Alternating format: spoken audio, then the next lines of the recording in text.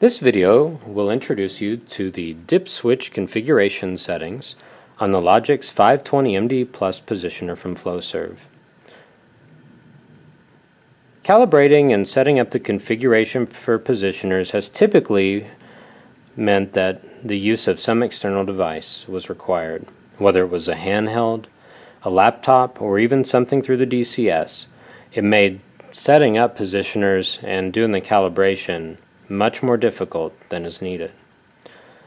The Logix Positioner family has incorporated these dip switches which allow us to configure the positioner to match the installation of the valve. The first dip switch is air to open, air to close. So, should we need air to move against a spring in a fail closed valve, we just make sure the dip switch is set to fail closed or air to open. Are we double acting or single acting, meaning are we making use of only one of the ports or two ports? At closed, are we at 4 milliamps or 20 milliamps?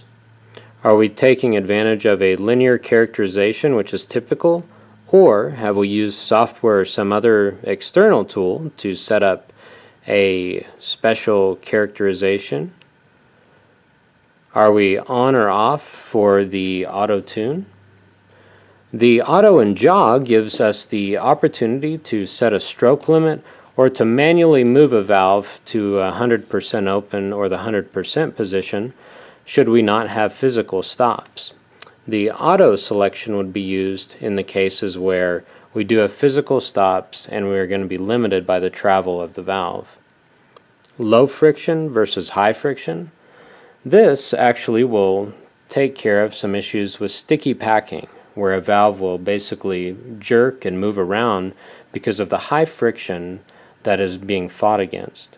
Once the valve gets to a position relatively close to the signal, the positioner will then turn into a pr pressure controller and hold the valve in position until a larger command signal change has been sent to the valve. And the A and B is really just a spare switch that is currently not in operation. That's all there is to it. Set those dip switches, push the quick cal button, and you're off and running with the Logix 520 MD Plus positioner from Flowserve.